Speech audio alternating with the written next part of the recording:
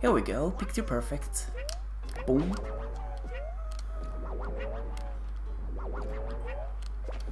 Here we want to use as few flutter jumps as possible. Oh no. That's why you don't want to use flutter jumps there, but you're gonna have to at some points. Like there, for example, land on the thing. Otherwise, we're gonna lose a huge amount of time to something stupid.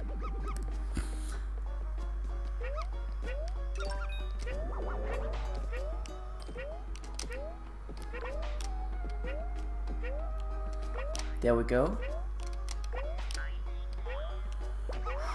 Let's do a jump there, and a jump there, and a little walk there, and perfect.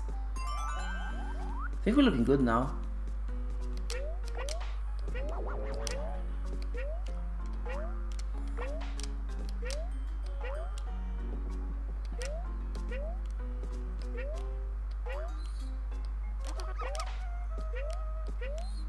Think we can see a 1-8 here, maybe.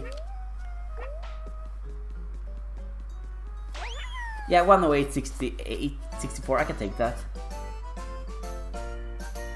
Oh, you did?